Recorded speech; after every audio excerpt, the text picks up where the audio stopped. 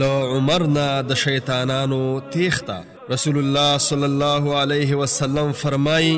ما جنی او انساني شیطانان ولیدل چې د عمر په لیدو وتښتېدل